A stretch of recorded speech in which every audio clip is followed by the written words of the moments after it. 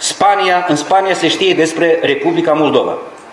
Și scriitorii de acolo mi-au spus, la Madrid, îmi spun, domnul, ăsta e țara unde s-a furat miliardul. Da. Și spune, ce s-a întâmplat cu acela? L-ați împușcat, l-ați pus la închisoare. Zic, nu, l-am ales primar la Orhei. Ăsta